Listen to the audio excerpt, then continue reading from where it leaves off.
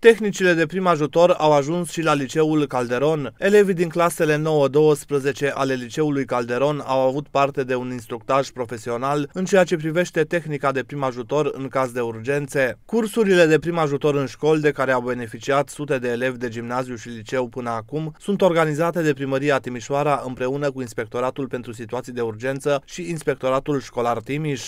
Elevii de gimnaziu au șansa de a fi instruiți cum să prevină riscurile, să respecte regulile de siguranță și, dacă e cazul, cum să apeleze numărul unic de urgență 112, în timp ce elevii de liceu au avut parte de instructaj de acordare a primului ajutor. Nici profesorii nu sunt lăsați pe margine, ei având parte de învățare activă pe segmentul de coordonare în cazurile de situații de urgență. Până în prezent, 30 de unități de învățământ s-au înscris în acest program de conștientizare și acțiune în caz de urgențe, program care se va desfășura pe o perioadă de 2 ani. Proiectul reprezintă o adevărată pregătire pentru viață, cultivând curajul și dorința de a ajuta atunci când o situație o cere.